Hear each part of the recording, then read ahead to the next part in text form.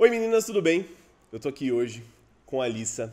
Ela é uma pessoa muito especial. A gente já conversa com ela há algumas semanas tentando trazer ela para esse podcast e ela veio de Curitiba aqui para conversar com a gente da João da Beleza. Hoje quem acompanha esse papo comigo é o Johan. A gente conversou e mostrei, eu mostrei ele para vocês, eu apresentei ele aqui no nosso último vídeo, que foi o primeiro podcast com a Mari Verdili. Ele está subindo no dia dessa gravação, então a gente vai colocar ele no ar já já. E. Johan, e aí, tudo bem? Tá tranquilo? E aí, beleza? Tranquilo hoje. Trocamos de lugar, cara? Trocamos. E hoje é sábado. E hoje é, é. sábado. Não é domingo, tá, gente?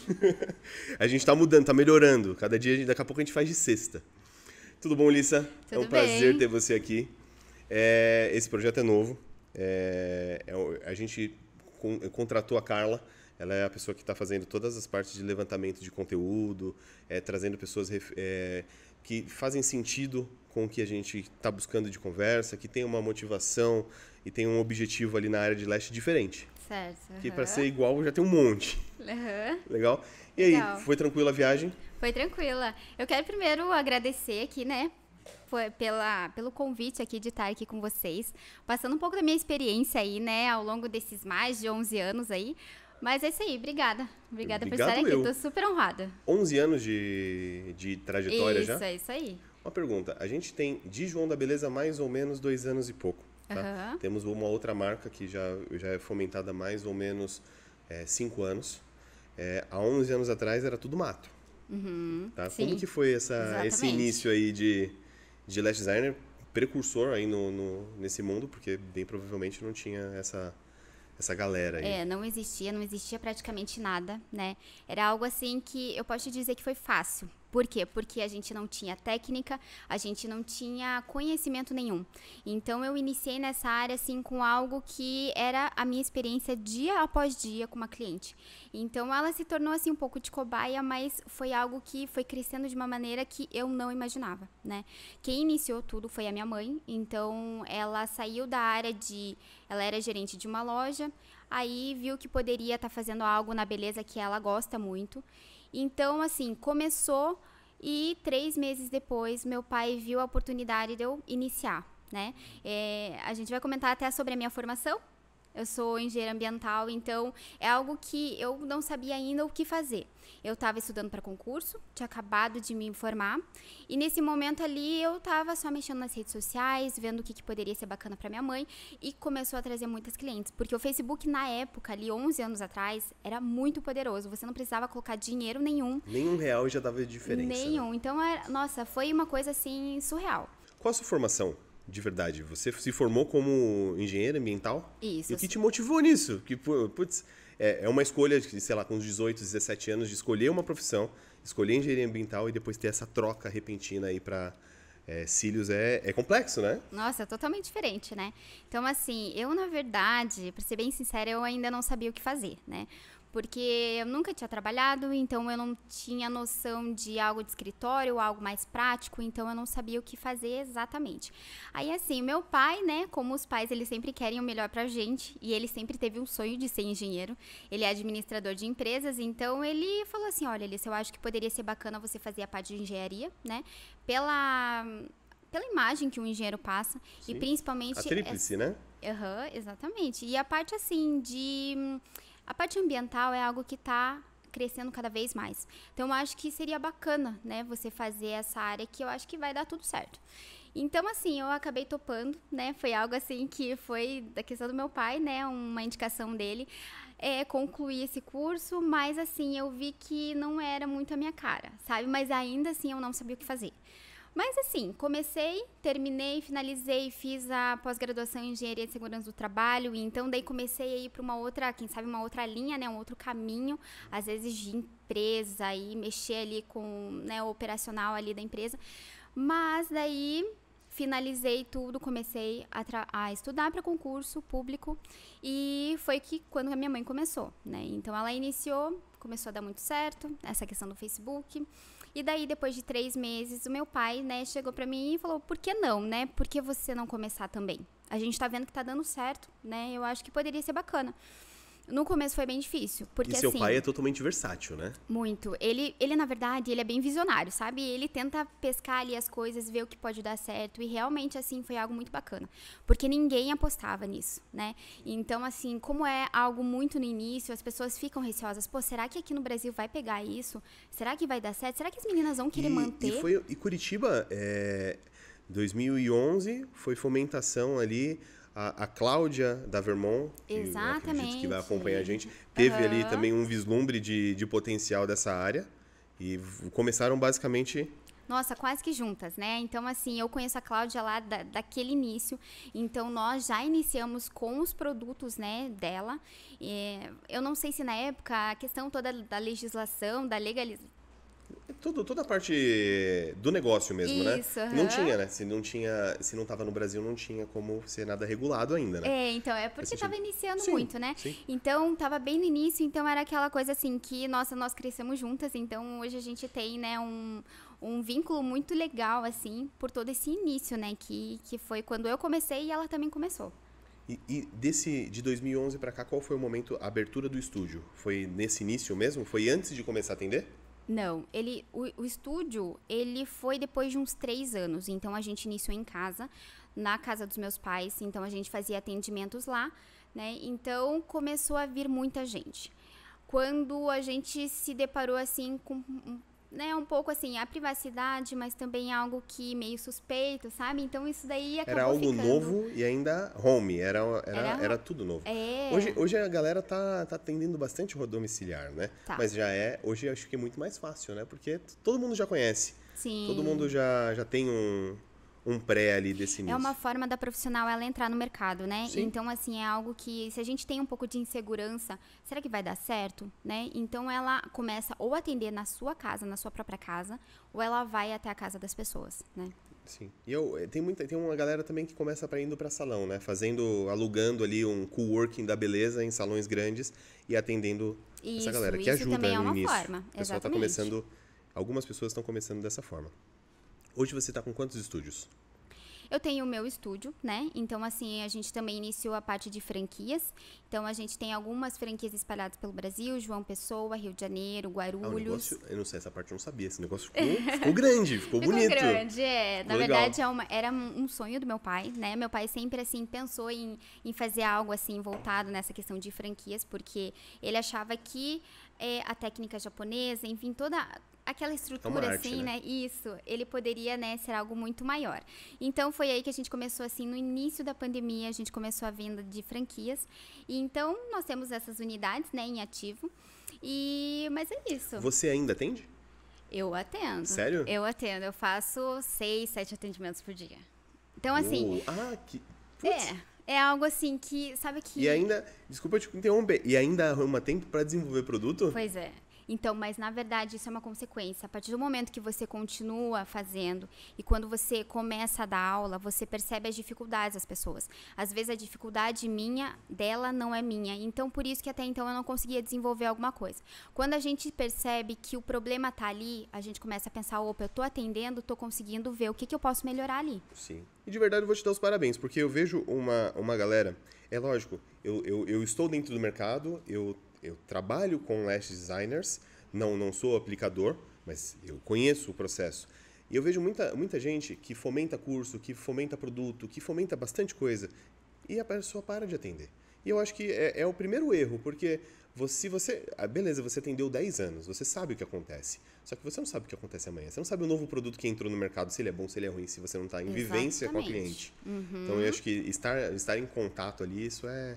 Isso é Então agora eu quero então te falar, sabe o porquê que isso pode acontecer? Porque assim, o nosso trabalho é um trabalho muito desgastante, né? Então assim, a pessoa ela percebe que se ela prolongar muito, às vezes sem uma condição muito adequada, ela vai acabar tendo muitas dores e a pessoa ela não vai conseguir ficar por muito tempo.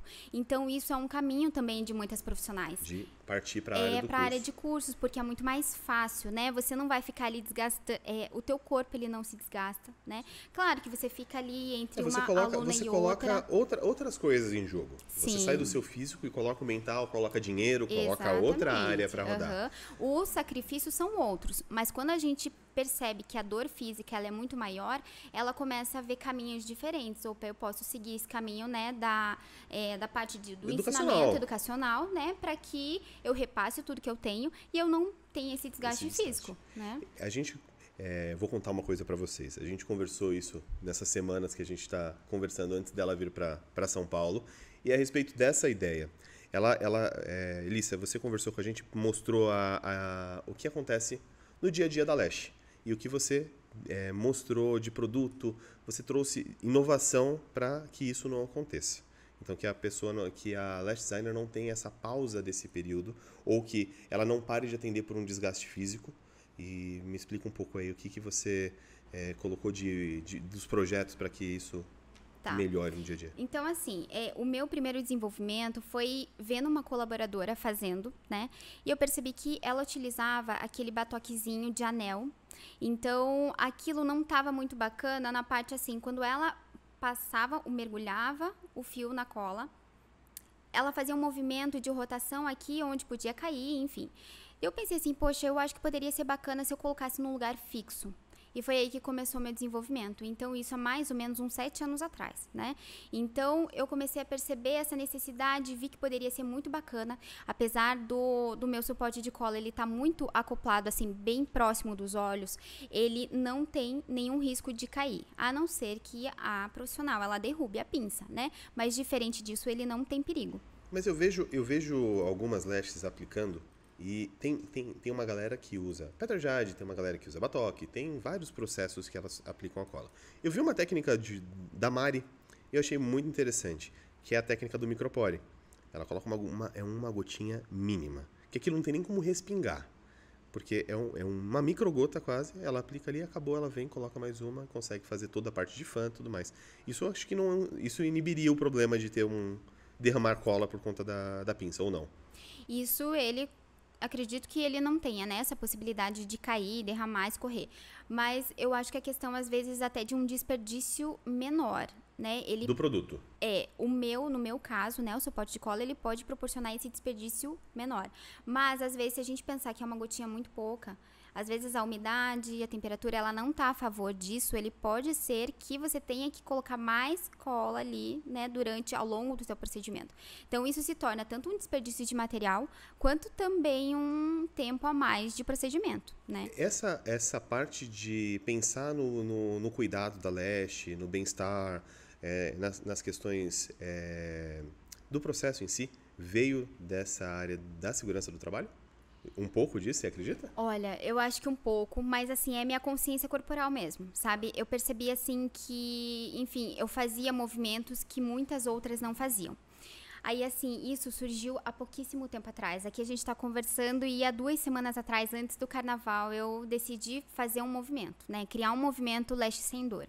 Então, eu percebi que muitas pessoas falavam: olha, eu tô com dor aqui, por quê? Eu defendo muito essa questão da agilidade, mas essa torção de pulso, quando a gente foca em volume russo, numa montagem de fans no dedo, na técnica do dedo, isso vai pode gerar uma, né, um futuro, desgaste. de- é um desgaste da articulação. Então, foi aí que eu comecei a perceber que as meninas falavam: "Nossa, eu preciso trocar a forma com que eu faço porque tá doendo muito meu pulso". Então eu vi, opa, peraí, então eu acho que tem muita demanda de menina com muitas dores e eu não tenho. Eu já atendo há mais de 10 anos. Então eu percebi, eu falei assim: "Não, eu vou criar um movimento. Eu vou ver o que que esse movimento dá". Lembra que a gente estava conversando sobre a questão de ah, a gente fica com aquele projeto todo redondinho, a gente quer colocar da start quando tudo faz. estiver pronto, não acontece. Então eu falei assim, não, eu vou, né, gerar esse movimento e ver qual que é a demanda e a necessidade dessas profissionais. E foi aí que começou, vir muitas lashes para, nossa, eu tô com dor aqui, eu tenho dor na coluna, eu tenho dor no meu ombro, braço, mão, punho. Então eu falei, caramba, isso é muito bacana. Eu posso colocar muita informação para elas porque, né, é experiência própria. Então foi aí que começou essa parte focada em agilidade, mas uma lash sem dor é uma lash ágil. Então é isso que eu caminho. Eu acho que a galera, a galera que atende home tem, acho que tem os maiores problemas de ergonomia que o pessoal que atende no seu próprio Nossa, estúdio. Demais. demais. Então a pessoa já começa fazendo errado. Uhum. Até o ponto que você já não consegue mais atender. Tem, hoje, hoje, com o movimento, você sentiu que tem, tem uma galera que deixou de atender por dores? Existe isso? Nossa, demais. Sério? Assim, tem muitas meninas assim que ou estão pensando em desistir, né, de atendimentos, ou pelo menos diminuir os atendimentos. E o atendimento de leste, ele é um, ele é, ele é complexo porque ele, você tem atendimentos de no mínimo uma hora e de numa média de duas a duas horas e meia, duas horas e meia ou mais, porque você tem que chegar no ambiente, você tem toda a parte de aguardar a cliente se arrumar, você fazer toda a parte de é, cuidado inicial, limpeza para começar a aplicação de duas horas. Então é é complexo, duas horas na mesma posição, duas horas sem. É, e até assim, quem trabalha a domicílio, qual que é a minha dica, né? Então, por exemplo, aqui quando a gente vê que pensa que é uma, uma cama aqui, né? Então a cliente ela tá deitada na cama, ao invés da pessoa se posicionar ali na cabeceira, por exemplo, a gente se posiciona na quina aqui, tá? Então a gente abre a, perna, né, um banquinho baixo e fica muito mais bem posicionada, ela consegue vir bem próximo da gente, que é isso que é uma das coisas que precisa acontecer para você ter uma visão muito melhor. Então assim, até com as tuas dores, o que que você pode fazer? o banco é a cadeira, na verdade, é, tem que ser muito ideal para o teu atendimento. Então você tem que regular ela em altura. Isso depende muito da altura da tua maca e você também precisa se movimentar. Então, o mocho que você consiga ir para lá e para cá é muito importante, né? Então, é um conjunto: a cadeira, a maca e a tua cliente. Então, a tua cliente, ela tem que estar tá bem posicionada. As minhas, elas ficam quase que no vãozinho da maca. Quase que de ponta cabeça. Mas é porque, para mim, eu sei que eu vou entregar um bom trabalho, e um trabalho muito mais rápido, né? Então eu considero isso. Quando a profissional ela fica pensando assim, puxa vida, mas eu vou incomodar minha cliente, ah, eu vou pedir para ela vir um pouquinho mais para cima, mas não é o seu trabalho, é as suas costas que também vai ser prejudicada. Então assim, pense que você vai entregar um trabalho muito mais, muito melhor, né, se você fizer todo esse ajuste. Uma cadeira, a gente estava conversando com uma outra leste, uma cadeira dessa supriria o atendimento? Por que minha pergunta? Porque é, a minha, quando a gente estava comprando os mochos, aqueles mochos lá de trás, é, a gente estava justamente pelo, é, achando os melhores, procurando cidades uma lista e tal, compramos o que a gente viu que o pessoal falava bem. Aí eu perguntei para ela, o que, que, é melhor de atender, no mocho ou numa cadeira ergonômica como essa? Ela falou, para mim é uma é tanto faz, porque o mocho depende, tem mocho muito desconfortável, tem mocho duro, você fica muito reto, só que você não tem mobilidade. Ele falou, uma cadeira você consegue ir um pouco para trás no momento que está aguardando alguma coisa e voltar. O mocho você já não consegue fazer isso. Qual é a sua opinião a respeito de uma cadeira ergonômica tá. ou um mocho ali tá. específico para isso? Bom, eu gosto do mocho, tá? Eu acho assim que tem pessoas que são maiores que pode conseguir adaptar ali, colocar um estofado um pouco maior, né? Mas assim, o sentido da parte do encosto, do mocho, ele é importante porque eu sempre falo a posição de alívio. Às vezes a gente não consegue ficar ereta todas as vezes. E às vezes tem profissionais que querem ficar nessa postura e usam aquela cinta sabe? Aquilo lá é muito prejudicial. Eu não sei a parte física mesmo do que pode acontecer, mas eu vejo que o desgaste é muito grande. Eu já tentei, então eu posso dizer, né, que não, não recomendo. É. Então, a parte de alívio, quando você tem aquele mocho onde tem um encosto, eu sempre recomendo com encosto, porque tem aquele mocho que é cela, né? Eles chamam de cela, onde é só a parte do assento, você não tem nada de encosto. Quando você não tem esse encosto, você não consegue fazer essa posição, sabe? Relaxar, relaxar, um pouco.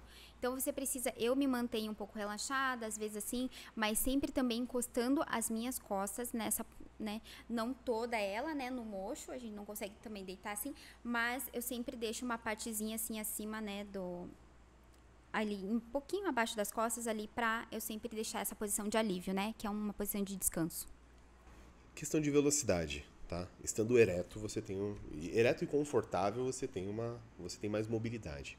E aí você vê, a gente nessas pesquisas viu que você desenvolveu um produto para agilidade, não só de ergonomia, mas também de quem tem dificuldade para fazer fan e quem tem que demora muito para fazer, por exemplo, uma técnica do volume russo. Então, como que funciona isso? Da onde veio isso uhum. e o porquê dessa tá. inovação? Bom, o meu primeiro curso de volume russo foi acho que em 2015. É, assim, tava algo muito no início. Hoje existe uma técnica mais fácil que, na verdade, talvez 90% das lestes usam, que é a técnica do dedo, né, para montar os fãs. É, na época não existia, talvez eu poderia ser mais adepta a essa técnica por, pela dificuldade que me existiu na época. Mas, assim, as técnicas que me foram apresentadas, eu não, não tava conseguindo. Eu sou muito daquelas pessoas, assim, que falam, você não pode desistir, você não pode desistir. Só que eu tava quase desistindo. assim, eu não tava conseguindo aquele negócio. Então, assim, eu tava percebendo que eu pensei, puxa vida, o que, que eu posso fazer? Eu tenho as minhas meninas, as colaboradoras do estúdio, eu acho que eu vou ensinar elas e vou ficar só com o clássico. Nossa, vai ser ótimo para mim, porque daí eu não vou precisar, né, insistir numa coisa que eu não tô conseguindo. Só que assim, na época, eu já, já tinha assim alguns convites de jurada, de palestrante, eu falei, poxa vida, eu tô gostando tanto dessa dessa parte de repassar o meu conhecimento para as pessoas, que eu pensei assim, se eu parar né, não evoluir no volume russo, eu vou ficar para trás, eu não vou mais conseguir me destacar, né, perante outros profissionais. Então eu falei, não, eu tenho que criar um jeito. Então eu pensei, poxa vida, o que que se dá a abertura do fé? Né, uma parte fina na parte de baixo, abertura na parte de cima, e daí começou o meu desenvolvimento, assim como os potes de cola. O desenvolvimento, ele não acontece assim, da noite por dia, né, é algo assim que levou mais ou menos uns seis meses, sete meses, até chegar no, na peça ideal para mim à medida que eu fui vendo as pessoas, as minhas colaboradoras, né, é, desenvolvendo e tudo mais, eu fui fazendo adaptações. Até hoje eu te chego agora numa peça ideal, ideal, né, entre aspas, que cada uma tem que adaptar também conforme a peça, né? Mas é algo que agora está muito mais fácil, muito mais fácil para mim também, né? Então é isso. Foi esse meu desenvolvimento. Legal. Eu vou pedir um favor para você. Uhum. Porque como o podcast a gente não consegue mostrar de perto o produto, você trouxe ele. Trouxe Então assim que a gente terminar, a gente faz um vídeo de review do produto para mostrar pra galera que tem curiosidade sobre ah, isso. Ah, legal, tá, tá certo. Bom? Combinado. E hoje você, além, você dá o curso, você dá curso sobre isso? De como utilizar? Eu... Ou ele é simples que não precisa? Não, ele precisa. Oh, se, a, se a profissional ela quer algo rápido, eu acredito que um acompanhamento ele seria muito ideal, muito válido, né? Porque tem toda uma. São fatores que influenciam na abertura muito mais rápida. Então, o ângulo que você pega o movimento que você faz, a pressão que você faz, a altura da pinça ali no ponto de precisão certo. Então são esses fatores que eu vou falar. Ó, você tem que fazer assim, assado, para você conseguir ter né, o resultado muito mais rápido. Então por isso que a minha peça ela sempre vem com o acompanhamento de como manusear ela. Todo, todo o processo, tanto, tanto essa quanto o a, o suporte de cola adaptado na pinça. O suporte de cola, ele não tem muito segredo, né? Mas é sempre importante assim, tem uma parte que ele é mais larga, outra não é tanto, então tem que saber em qual parte encaixar para ter aquele para ter uma segurança de que ele não vai escorrer, né? Dependendo da quantidade de adesivo que você colocar. E hoje você dá curso para outras pessoas de, de técnicas também? Exato, uhum. eu dou curso da parte de volume russo, né? O clássico. Ah, hoje, hoje esse problema sumiu. De 2015 para cá é. acabou. Exatamente. Quanto tempo hoje em dia tipo, você faz um volume russo completo? Eu levo mais ou menos uma hora e meia, no máximo. Uma hora e meia. Se às vezes a cliente tem muitos cílios, é uma hora, uma hora e quarenta e cinco. Mas geralmente meus atendimentos eles são de uma hora e meia. A cada uma hora e meia. O clássico é mais ou menos uma hora que eu levo. Uhum. Nossa, é muito rápido, uma hora e meia. Legal. Eu queria. É, o legal de perguntar que cola você usa. Não sei se você pode falar isso. Posso? Porque essa é a minha pergunta. Porque é, existem mistificações de técnicas de professoras e tudo mais, e, e há preferências. Então acredito que vai assistir, quem assiste esse vídeo provavelmente vai ser alunas de outras masters que às vezes querem, se espelham no seu trabalho e vai mudando um pouco a, a cabeça ali, Sim. ou o produto e uhum. afim, abre os olhos para outras coisas. Com certeza.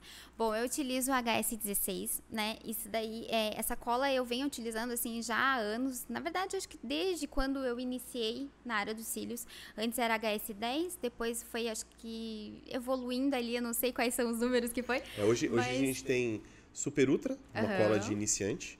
Tá. Então, ali de, de 5 a 8 segundos, HS10 de 2 a 4 segundos depende muito de umidade, fatores uhum. externos e tudo mais. HS16 de 1 a 2 segundos e agora HS17 de, né? de meio a 1 segundo. Essa eu quero testar. Na verdade, assim, qual que é a minha recomendação? Para você que quer ser uma, uma profissional rápida, não é assim você pegar uma cola de secagem rápida, né? É muito importante você saber trabalhar com essa cola com esse adesivo, né? Então é algo que se você tentar fazer é, o procedimento no teu tempo e você ter a secagem muito rápida, você pode ter aquela falsa colagem e tudo mais. Então você tem que entender qual que é o tempo do teu da, da tua aplicação. Onde você posiciona seu adesivo? Qual o tempo que você leva para fazer a aplicação de fato, né? Eu sempre falo, a cola, quando você vai aplicar, você tem que mirar e aplicar. Você não tem que mirar e ficar lá tentando ajeitar. É mirou, aplicou. Se não, você tem que remover e colocar de novo, porque isso pode afetar a questão de durabilidade, né? Então, isso é uma, uma das questões de agilidade. Você entender qual cola dá certo para você. Mas também eu acredito muito que você seja adaptável à cola. Você também consegue se adaptar. O seu ambiente tem que ser adaptável. Você é um, é um conjunto. Uhum, é um conjunto, isso. O, o, problema, o problema real, às vezes, é. Eu acredito que 10% do problema é a cola. Também. 90% é profissional e ambiente. Exatamente. E o ambiente também é problema da profissional. Porque dá para se alterar, né? Você dá para ter um. E quais técnicas hoje você no seu estúdio coloca à venda ali? Qual que você aplica? Qual você mais fomenta no dia a dia da galera? Olha, eu acho que tá assim, metade, 50% de clássico ainda e 25 híbrido, 25 volume russo. Então tá mais ou menos isso. Eu, eu converso com algumas lashes e a galera não tá querendo mais tanto fio a fio. É. Fio a fio tá ficando é, um pouco de lado, de lado, nessa, nessa brincadeira aí. Eu tô, eu tô começando agora e eu ainda não aprendi a técnica do volume russo. Uhum. É uma coisa assim que eu tô com muito medo de aprender porque eu acho muito difícil. Qual seria, tipo, uma dica para iniciante nessa, nessa técnica que você daria? Tá, vamos lá. Primeiro para você não desistir, porque eu tenho certeza Não. que você vai conseguir. Então, isso é uma das coisas que, né? Isso é claro se você tiver essa dedicação diária, né? E assim, não adianta fazer no automático. Não adianta você pegar a tua pinça, pegar o fio e tentar abrir. Qual, qual técnica que você tá tentando? Do chicote, do dedo? Eu. eu do, Do chicote eagle, fosse- o Não, chicote- não. O volume russo, assim, é- eu não cheguei nem a aprender Ah, direito não o teórico, entendeu? Só que Ah, tá. pelo que eu vejo, assim, no geral, o volume russo é o que, assim, mais. Minha tia, ela foi fazer com uma leste que tava aprendendo. Aí, tipo, a, a mulher demorou, tipo, umas sete horas, entendeu? Então, tipo, eu fico. Meu Deus. É, não, mas é normal. É muita responsabilidade, né? Sete horas uma pessoa deitada ali, você Ah, é atendendo. difícil, eu né? acho que eh, se eu fosse a cliente no momento, eu ia falar assim. Acho que já deu, né? Deixa a metade mesmo, tá tudo certo, Uhum. tá maravilhoso. Vamos É- colocar é uns cílios desse aqui, ó. E tá tudo certo. certo, tá Amanhã eu ótimo. volto. É isso aí, fazer em etapas, né? Então, aí, tipo, eu aprendi o, volume brasileiro até agora. E o fio a fio. A gente fez uma técnica que você cola um, um fio de cabelo ou um barbante no copo e você tem que ficar acoplando, né? Nesse fio. Sim. Então, aí já foi. Nossa, difícil. Já foi difícil? O Y? difícil. É, mas assim, eu fui pegando jeito, depois é, eu vi que a- era a cola o problema. Porque eu tava usando o Super Ultra, a Super Ultra, e eu, eu acoplava direitinho, só que ele, pum, ele caía, entendeu? Tá. Porque eu não ficava segurando o tempo suficiente. Aí a, a Lária, a minha professora, ela mandou eu fazer com a HS10. Aí deu certo. Aí eu comecei a colar direitinho. Aí o volume brasileiro pra mim agora tá tranquilo. É, tô treinando em casa numa, num- numa cabeça de boneca, né? E tá tranquilo, mas essa parte do volume russo, assim, pra Assusta. mim. É, dá uma Assusta. assustada. É, até porque assim, quando você pensa assim, poxa vida, eu demoro tanto aqui, eu já tenho dificuldade aqui, imagina num volume russo, né?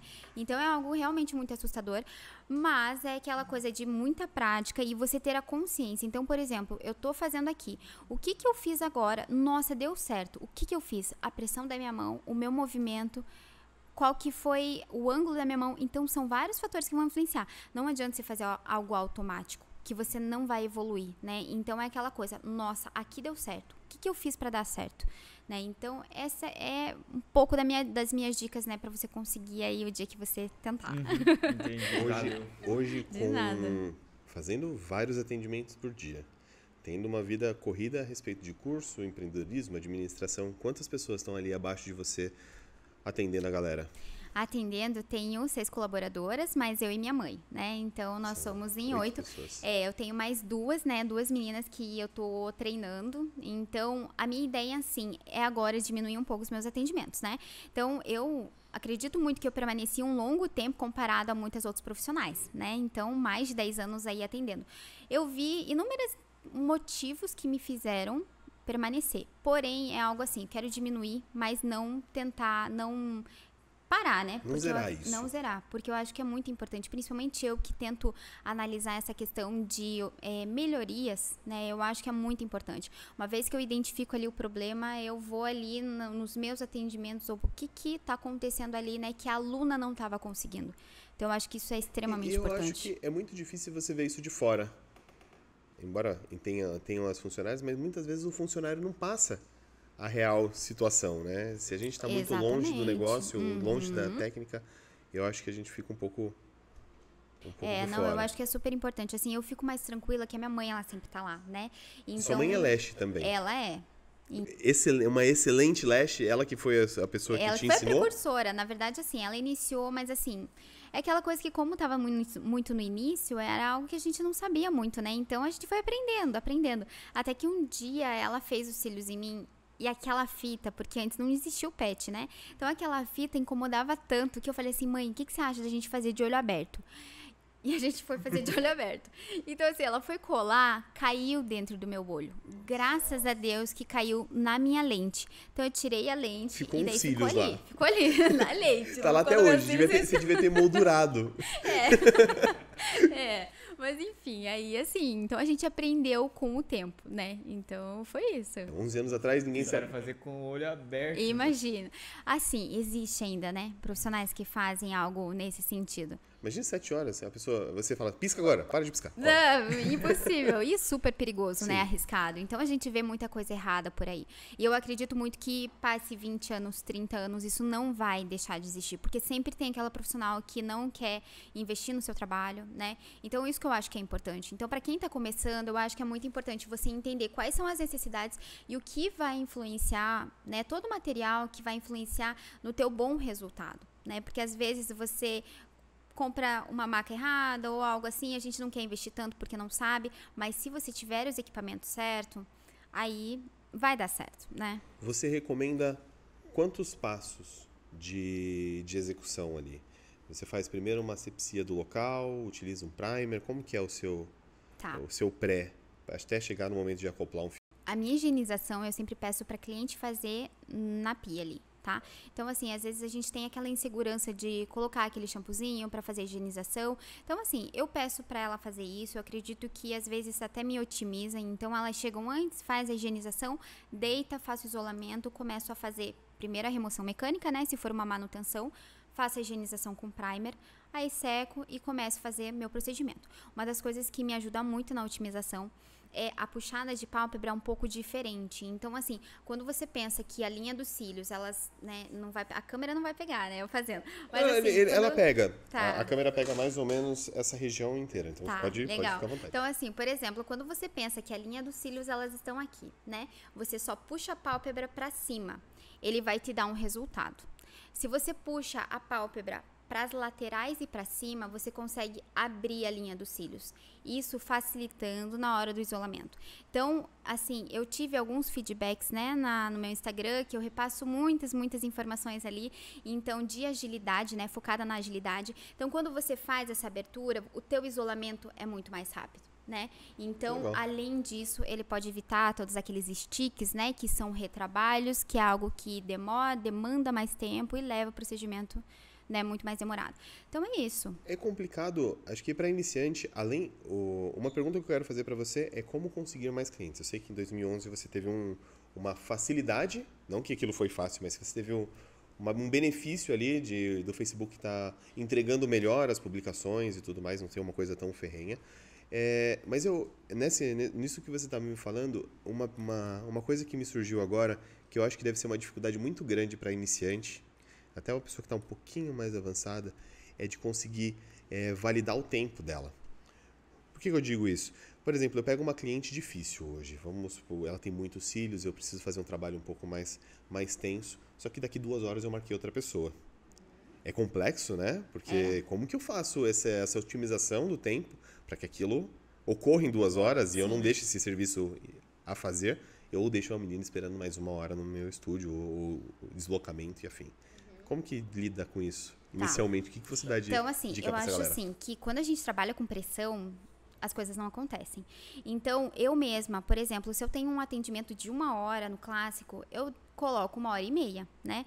Claro que quando volume russo eu faço no máximo uma hora e meia, mas assim eu deixo a minha agenda. Então, assim, quando você tem um tempo de descanso, ou enfim, às vezes um imprevisto da cliente, algo que, poxa, eu tô iniciando, eu não sei quanto tempo que eu vou levar, não sei o que, que eu vou depa me deparar ali na hora, né, do procedimento. Então, o meu conselho, se você demora três horas, coloca três horas e meia, coloca quatro horas, porque se você for trabalhar com um tempo ali estimado de duas horas, ou, nossa, minha próxima cliente é três horas, eu levo três horas, você, a tua pressão, né, vai existir, o teu psicológico vai ser abalado e você vai entregar um negócio com não tanta qualidade. Então, essa é a minha recomendação, né? Para quem está iniciando, coloca um tempo muito maior aí.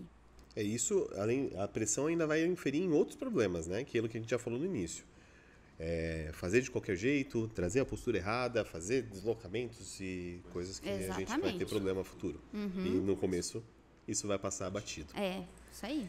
E dica pra galera que tá começando então ter esse desempenho fomentado. E eu queria agora falar, tra trazer um pouco essa conversa mais para perto, sair um pouco da área profissional.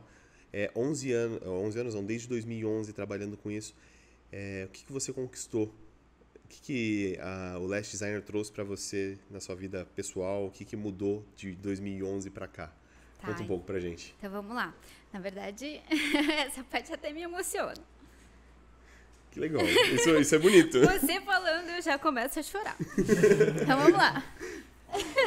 Não, é, é, que muda uma vida, né? Você Sim. trazer o, o, você faz, você escolhe uma faculdade, embora tenha a, a, o, a, ajuda de escolha do seu pai, mas querendo ou não, aquilo ali são cinco anos de que vira a sua vida, mais uma especialização, mais um ano, dois anos. Com e certeza. aí você fala assim, quer saber? Deixa pra lá, vamos, vamos fazer leste. Isso aí tem que ser, tem que ser benéfico, né? Exatamente. Vamos parar um pouquinho. Não, fica à vontade. Isso, isso eu não vou cortar, isso ficou bonito. Ai, ai.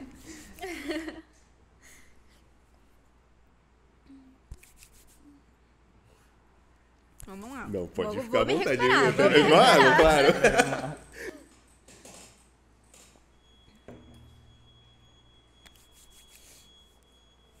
Então, traz um pouco de água, Marco.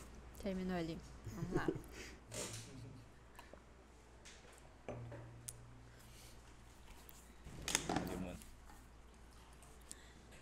Ok? Ah, perfeito, pode chegar aí. Vamos lá, Alicia.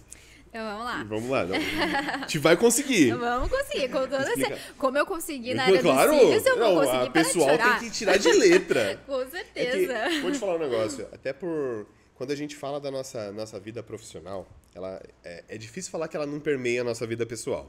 Nossa, é, é, mais do que isso, né? O dia inteiro a gente tá ali é, no nosso trabalho. A gente fala que a gente, eu já brinquei disso. Você, há alguns anos atrás, a gente vira empreendedor. Eu gostei desse termo, não sei onde eu vi. Algum, uma galera tá fomentando hoje ele muito em alta, que é aquilo, é a atividade de fazer tudo. Uhum.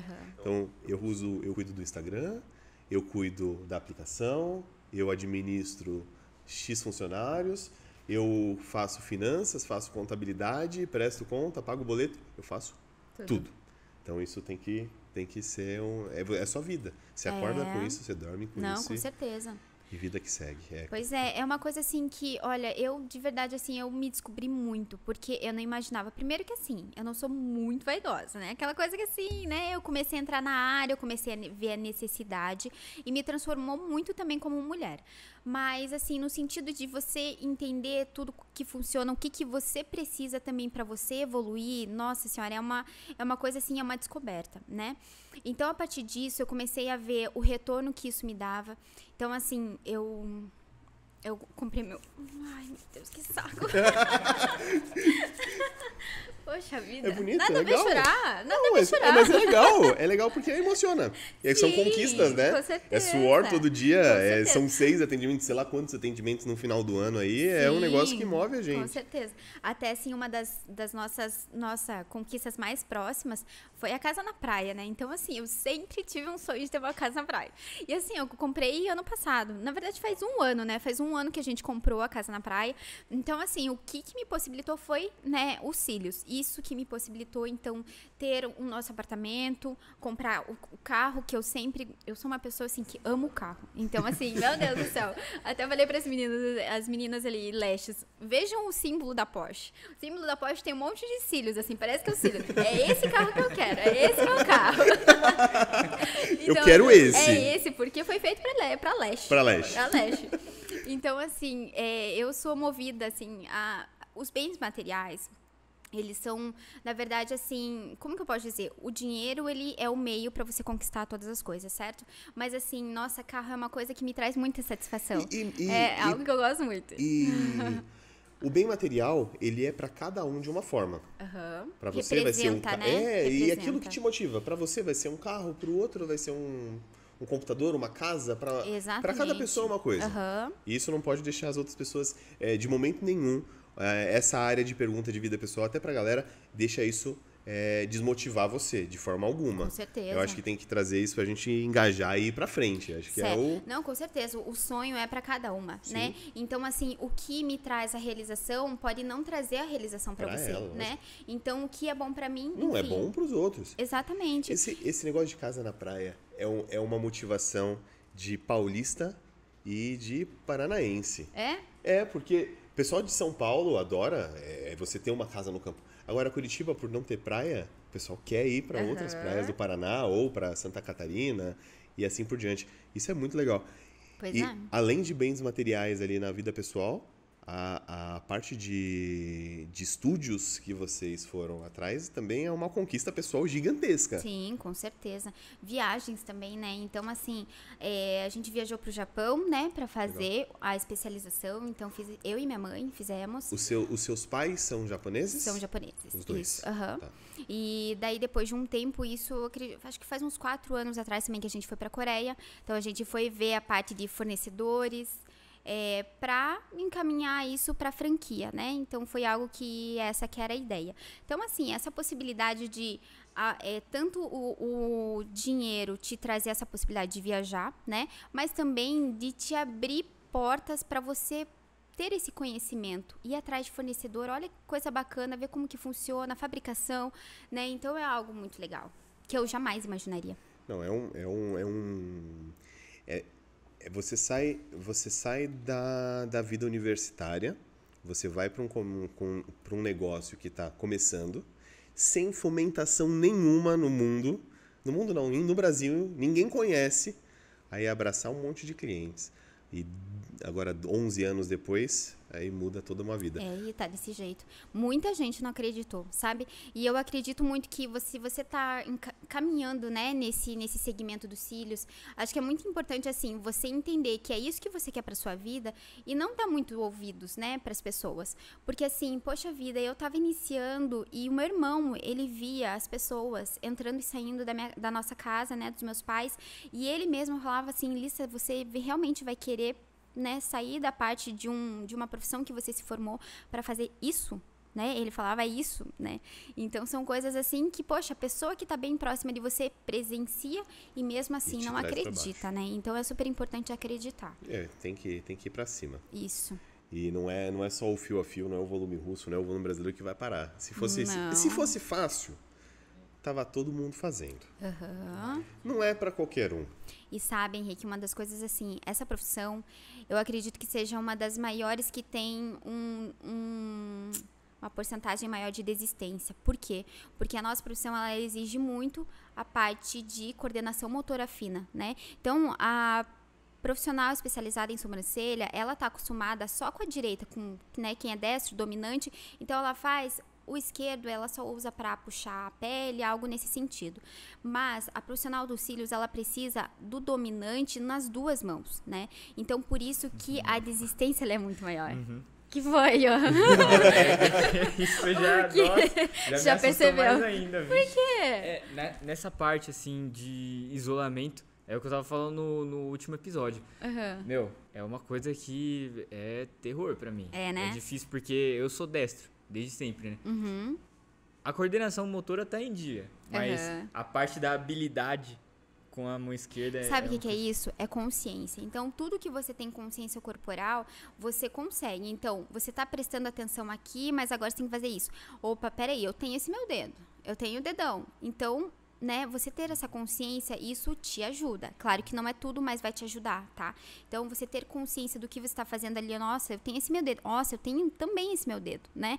Então, porque às vezes a gente está muito focado naquele ponto ali. Eu tô olhando só a pinça, mas pensa que isso daqui é o prolongamento da sua pinça, né? Os teus dedos são prolongamento. Então, você vê ali, né, é algo assim que pode te ajudar, né? Ter uma consciência um pouco diferente. Hoje, para você é, moldar uma equipe, aumentar, é, futuramente expandir mais o estúdio.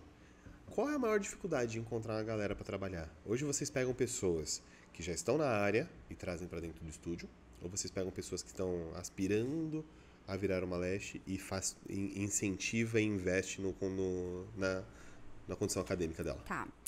Olha, eu não tenho uma resposta certa para você, porque assim, eu vejo que é, é, muito variado. Claro que uma pessoa que ela já é formada, ela já tem um conhecimento, ela vem com aqueles vícios que a gente já comentou, né? Todos. É, ela precisa ser uma pessoa diferente. Então, o que, que eu parto do princípio de quando eu contrato uma pessoa, uma colaboradora para trabalhar comigo? Eu tenho que encaixar a parte do pessoal, né? Se é, ela tem, eu sinto que ela é uma pessoa que realmente é determinada, que ela é, enfim, ela corre atrás, independente se ela é uma pessoa que já vem do mundo leste ou de não, né, uma pessoa totalmente diferente, é, eu pego, né? Então eu sei que essa daqui eu preciso investir mais tempo, essa daqui talvez eu também precise investir muito tempo, porque eu preciso deixar Trazer ela, ela pro seu mundo. do jeito que eu acho que é melhor de fazer, né? Então eu acredito que os dois você vai, ser, vai ter trabalho, mas eu daria uma dica para você também que quer montar um estúdio, para você sempre focar no pessoal, porque a partir do momento que você tem uma pessoa que condiz com, com o, os teu, com a tua ética, enfim, a forma com que você se comporta, eu acho que é muito mais fácil você lidar, a conversa é mais ou menos no mesmo nível, né? E porque o trabalho técnico você sabe, eu domino, então eu sei que eu consigo passar, né? E como você, eu queria que você desse uma dica pra galera que tá, é, tem, a gente vai ter um nicho muito grande, muita gente está iniciando, então acho que o, o maior volume é a galera que tá, é, tá ansiosa ali, tá com um desejo de fazer. Mas uma coisa que às vezes frustra não é só a parte técnica, é conseguir mais cliente. Uhum. Como que você, como que, o que você dá de dica para essa galera conseguir mais clientes no dia a tá. dia delas aí? Então vamos lá. Primeiro que a gente assim precisa definir um público que você quer atingir, tá? Então eu lá em Curitiba eu quero atingir as mulheres naturais, clássicas. Por isso que o clássico ele atende muito a, já ainda a minha demanda. Pra você. Né? O fio a fio ainda é uma realidade. É, na verdade, ó, eu, eu não sei, você tá mais ou menos na área? Você, mais ou menos. Mais ou menos, então eu tá. Bem. Então, assim, ó, por exemplo, o fio a fio, a gente, ela denomina todas as técnicas, elas são fio a fio, né? Agora, a técnica clássica, né, que, porque o fio a fio, ele é a técnica clássica, é o volume russo, é o brasileiro, enfim. Então, o clássico, né, que é o que predomina lá no estúdio. É, isso por quê? Por causa da naturalidade. Então, quando você foca em um perfil de mulher que você quer seguir, você consegue ter muito mais sucesso e visibilidade.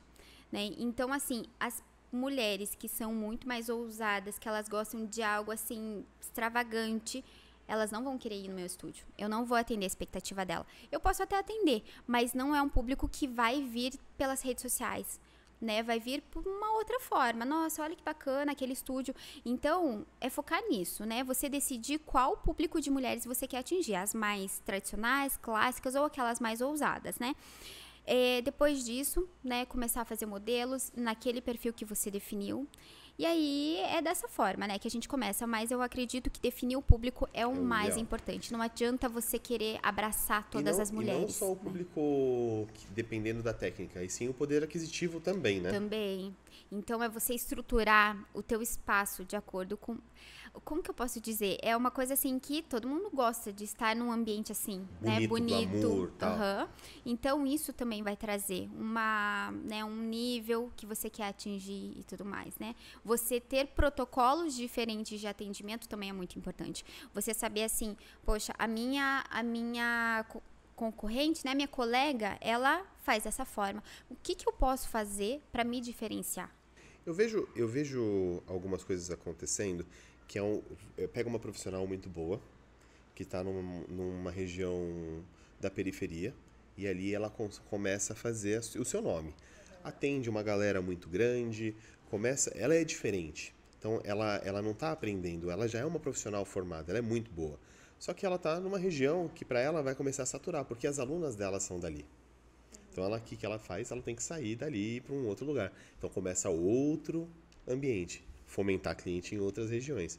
E hoje você usa algum tipo de ferramenta para aumentar os atendimentos, para trazer mais gente? Como você faz lá no, nos estúdios? Tá, é bom. Eu vou falar assim do meu estúdio, né? Em particular, ele por muito tempo eu não consegui assim, é, não precisei na verdade manter essa parte de impulsionamento, propaganda e tudo mais, porque era, algo muito natural. Então, assim, era muita indicação. Então, foi algo que foi muito natural. E agora que a gente está com uma demanda maior de profissionais, agora sim, a gente está colocando dinheiro, né, no Instagram, rede social, que é, acredito que seja a nossa único caminho, né, pra gente seguir de marketing. Então é dessa forma, né? É só colocando aí nas redes sociais. De 2011 para cá, teve algum momento que você falou assim, eu não quero mais isso para minha vida e tchau? Não quero mais o que Não quero cílios? mais isso para minha vida, é, cansei dos cílios. Teve alguma coisa que algum momento que você falou, não vou mais? Olha, teve. Na verdade, assim, ó, o que me move atendimentos é essa melhoria, tá? Então, quando eu entendi que o meu atendimento, ele tá Claro que para satisfazer as minhas clientes eu quero deixá-las mais bonitas, mas quando eu entendi que eu faço uma outra coisa muito melhor, que é melhorar a profissão da, né, a ergonomia, a agilidade, enfim, eu tô muito mais motivada. Então, nesse momento, ai, eu vou chorar de novo. que coisa. Na verdade, assim, eu eu tive, eh, encontrei algumas outras profissionais que assim, a gente sempre quer uma agenda cheia. E quando você consegue, você fala assim: meu Deus, eu não quero mais isso. É muito estranho. Um dia que talvez você começar a atender, você vai falar assim: meu Deus, eu não quero isso. Mas por quê? Porque você chega no teu limite, assim, no sentido de, poxa, é algo assim muito repetitivo, todos os dias você faz a mesma coisa. Enfim é algo assim que você para pra pensar e fala assim, meu Deus, tem que ter realmente. A gente sempre fala de propósito. Eu sou uma pessoa que não gosto muito de clichê, tá? Mas assim, você tem que buscar realmente o teu propósito. Então, eu consegui entender que o meu propósito não tá realmente só em atendimento, ele tá nessa parte de desenvolvimento, né? Então, porque há vários dias eu cheguei em casa, eu falava assim, eu não quero mais atender. Já deu para mim aqui. Eu não quero mais, eu ganho, né, igual ou mais do que um um gerente de uma, né, uma multinacional, eu não quero isso para mim, porque não tá me satisfazendo. Então, assim, quando você entende o que, que você quer para sua vida, aí tudo flui. Nossa, agora eu tô, realmente eu tô muito feliz. Isso é legal. A gente, eu, eu penso parecido com você. Dinheiro, ele é a solução até um certo momento. Uhum, Quando você alcança exatamente. o dinheiro, você fala assim, agora eu preciso pensar em outras coisas. Exatamente. É, é bem-estar, porque também não adianta ter todo o dinheiro do mundo e não ter um tempo e ter dor no corpo inteiro. É, é, é legal ver que a gente consegue, a, a nossa, a nossa a nossa geração está começando a perceber isso antes. Uhum. A galera, a nossa, os nossos pais, os nossos avós, eles perceberam isso às vezes já quando não era muito fácil, eles já estavam no final da vida. Então, é legal a gente tentar. E é legal quando um profissional consegue encontrar o seu propósito, uhum. quando chega no auge Nossa da carreira. Senhora. Exato. Porque assim, o dinheiro ele não se sustenta. Eu poderia ganhar 30 mil, 50 mil, mas se eu não visse que, poxa vida, era aquilo que eu queria seguir, eu ia parar, com toda certeza, né? Agora eu tenho a felicidade de fazer o que eu gosto e por consequência vir o dinheiro. Por isso que o dinheiro ele vem muito mais fácil quando a gente encontra o nosso propósito. É, uh, é, é legal demais isso. E eu queria saber a importância dos seus pais nesse desenvolvimento.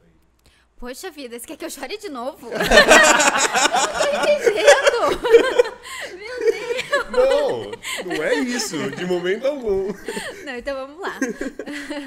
Na verdade, assim, eles estão presentes na minha vida desde que eu nasci até hoje, né? Eu tenho 33 anos, então, assim, até hoje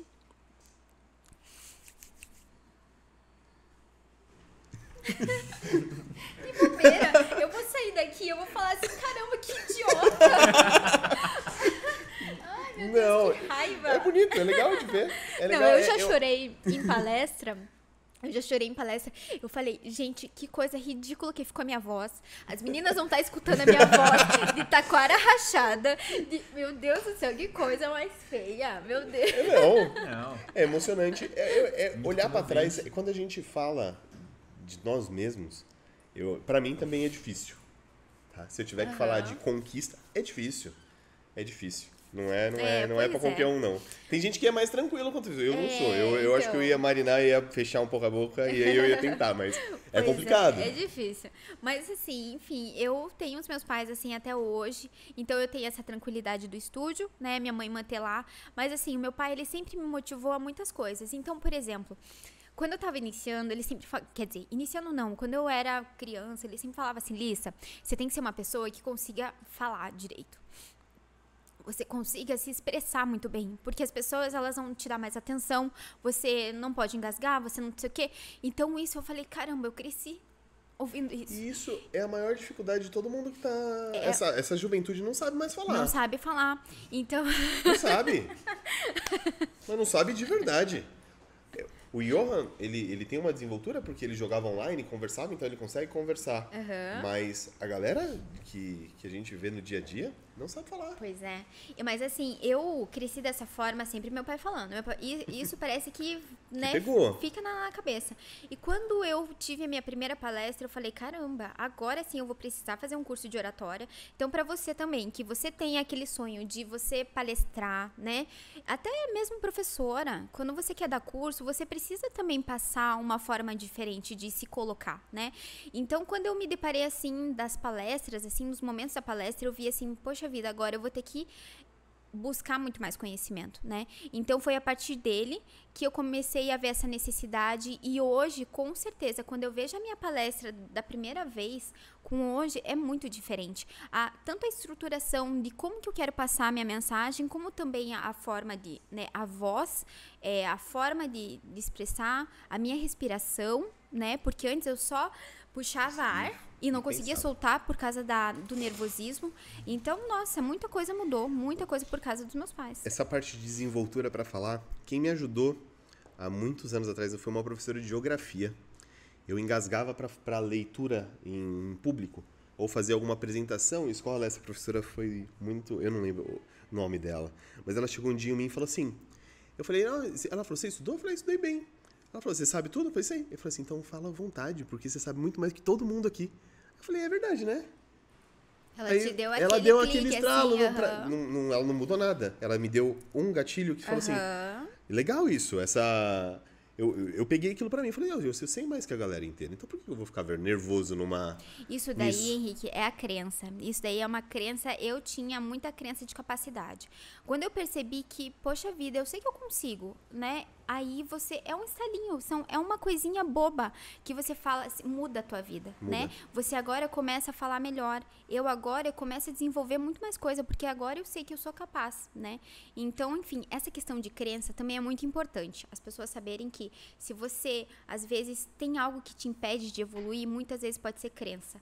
Então, vai atrás de, né, de um coach ou de, de, de um profissional que possa te ajudar nessa evolução aí, né? Sim. Nos cílios que a gente busca, não, né? É, não, na vida Os profissional né? inteira. Exato. Porque pra ser uma, uma boa leste, você tem que ser uma boa profissional. Aham. E pra ser uma boa profissional, você tem que ser uma boa pessoa, Pessoa, também. com então acho que certeza. tudo, tudo permeia ali todos Evolução esses. como um todo. Como um todo. Indo nesse embalo, é, uma coisa que eu tenho bastante dúvida é que quando você é uma leste, você trabalha muito o dia inteiro e você acaba às vezes ficando sem tempo, né? Assim, mais na parte do começo e etc.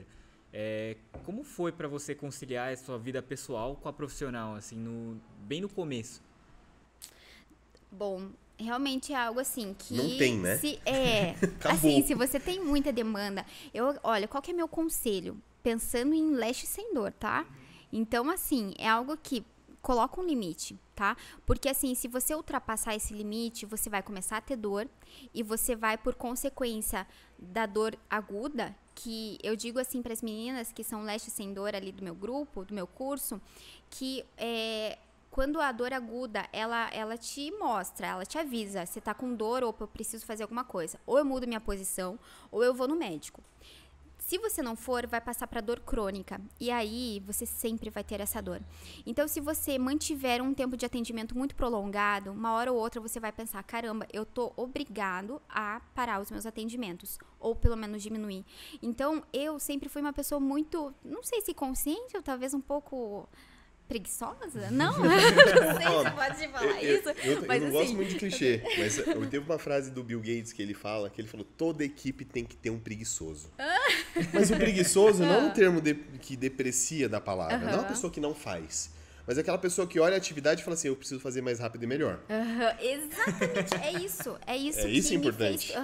é isso que me fez todos os meus desenvolvimentos. Porque eu falei, caramba, eu não quero passar tanto tempo aprendendo volume russo. Eu quero um negócio mais rápido. Sim, né? eu preciso fazer Então, melhor, aham. mais rápido, que eu ganhe mais. Porque, de verdade, ninguém tá só no leste porque é um sonho. Que ninguém vive de sonho. Aham, isso. Ninguém vive Concordo. de sonho. A galera precisa de dinheiro, a precisa- a galera precisa de cliente, todo mundo, o mundo, a roda tem que girar. Uhum. Então, eu, eu, eu acredito muito nisso. Se a gente faz mais rápido, faz melhor e faz por mais tempo, é o, é a- é o processo do sucesso. Isso. E nessa parte, assim, que ele falou, da pessoa, tipo, também não tá só pelo sonho, tipo, às vezes ela vê aquela, aquela grana ali e ela fala, putz, eu vou encaixar mais essa pessoa aqui, aqui, aqui, e o que você falou, eu agora me abri um pouco os olhos, né? Porque, É. tipo assim, é um investimento ao longo prazo, né? Nessa Exatamente, parte. você tem que pensar a longo prazo. Porque é, quando, quando você tem a agenda cheia, ele é muito. Como que eu vou dizer? É muito tentador. É tentador você ficar ali até o tarde da noite para você receber aqueles 15 mil reais, mais de 15 mil reais no final do mês, né? Falando em dinheiro, né? Não sei se a gente pode falar. Pode, pode falar. É porque é o sonho dessa galera. Assim, Tem, tem, tem mulheres que estão assistindo aqui que devem estar ganhando dois, que devem estar ganhando Sim. cinco, que tá a gente fazendo... vê que tem possibilidades, Não, né? tem possibilidade. Tem muita gente que está fazendo duas coisas ao mesmo tempo. Está trabalhando CLT e está começando esse negócio. Sim. Estão tentando achar um meio um, um equilíbrio para um dia sair desse, desse CLT e conseguir focar. Mas sem Aham. ter o equilíbrio também não adianta ela meter Não. as caras e Então, por isso que eu direito. falo, é ganhar muito dinheiro, mas aí, quem sabe mais pra frente, o que, que você vai ter que fazer? Então, dá uma reduzida, né? Faça, não, não- talvez não chegue nem até teu limite. Eu acredito assim, que se você demora duas horas e meia, três horas, coloque três, seis, nove, três por dia, né? Talvez duas, né? E um dia ou outro intercale duas, uma num um dia duas, outro dia três, outro dia dois e assim por dia- diante, Que né? o você tempo- não sobrecarregar Que com o tempo você vai pegando mais prática mais e prática, vai conseguir encaixar mais gente, né? que eu achei muito impressionante, ó. Eu vou falar, eu fiquei muito impressionado com essa parte que você falou que volume russo você faz uma hora e meia. Olha, me- Porque, assim, eu tô acostumado a ver o pessoal, tipo, fazendo em três horas. É quatro normal, é horas. o normal, na É verdade. normal, Eu É, achei aham. sensacional uma técnica que eu vi esses dias. Eu, eu acompanho bastante a parte de produtos, tá? Então, o que entra no mercado, curvaturas, espessuras e toda essa parte. A parte das técnicas, é, a gente vê superficialmente. Uma pessoa aplicando na nossa frente é uma coisa que não é não tá bem na minha realidade. Mas eu vi a técnica que todo agora tudo tem técnica, tem cada uma inventa um nome. Um né? método, né? É um método. Falam que é É a método. mesma coisa, mas cada hora é um nome. É, aham. E eu acho que isso dificulta a galera que tá começando, porque que cílio você quer? Eu né? queria o sanduíche. Que- Aí ela vira pra gente, aí eu mando pra, pra, pras vendedoras e a menina fala assim: Eu quero os cílios do volume sanduíche. Eu falo: O que, que, é- que, que é isso? Aí ela me pergunta: Henrique, o que, que é isso? Eu falei: Não sei, vou pesquisar. É, mas é isso. E eu vi essa técnica, eu Acontece. achei muito legal. Que é um, é um Y sobre o fio e um Tá. Acima. Tá. Eu achei muito bonito aqui. Essa técnica ela se chama de capping, né? Capping. Capping, que daí você vai acoplando alguns fios em cima do natural. Isso já existia na técnica do clássico, um a um ali. Então você coloca outro em cima de outro. É, A do Y, eu vou ser bem sincera, eu na verdade não vi ainda fazendo. E qual que é esse nome? Não sabe? É, pra Tá. mim veio como sanduíche. Sério? Sanduíche. Eu achei que você tinha dado Não, o nome foi isso que eu vi. aleatório. É aquela que você coloca uma em cima e uma O embaixo. Y é, é sobre a camada dos cílios, o fio tá aqui, é um em cima, um embaixo, um, um cílios, um Y em cima, um em cima. Ah. Fica bonito e duradouro, achei Duradouro. sensacional. É, é Achei isso que a gente busca, né, para os nossos Queria, clientes. pra gente finalizar esse papo, eu, eu não sei quanto tempo que a gente tá gravando, achei, de verdade, passou super rápido. Eu queria que você desse é, um- uma palavra de encorajamento para essa galera que tá vindo, que tá com problema às vezes com, com trazer clientes, com problema com técnicas e assim por diante. Técnica eu acho que é o mais fácil para depois você passar. O próximo passo é o do negócio mesmo, que aí entra o cliente. O que, que você dá de dica para essa Bom, primeiro assim, é, para quem está iniciando, eu acho que é muito importante a gente essa questão, a consciência de que você vai passar por um momento que não vai estar tá legal, você vai querer desistir, né? Isso com tudo na vida. Até hoje eu penso, ai, poxa vida, não tô legal, né? A gente sempre tem altos e baixos. Então é pensar assim, eu vou passar por isso, eu sei, ter a consciência, mas que você caminhe dia após dia, né? É que nem eu falo assim, eu brinquei lá no meu Instagram, é um cílio de cada vez. Por quê? Um dia de cada vez, você dá o seu melhor naquele dia. Então, se você pensar também um cílio de cada vez, você dá o seu melhor em um cílios e assim por diante, né? Então, você pensar assim, poxa vida, eu vou passar por dificuldade, mas eu vou enfrentar. Se é isso que você quer, persista, tá? É, bom, depois que eu disse, foque na, no perfil de mulher que você quer seguir. A gente tem muitas mulheres né, no Brasil. Eu acho que até a gente tem mais mulheres no Brasil do que homens, né, em termos de quantidade.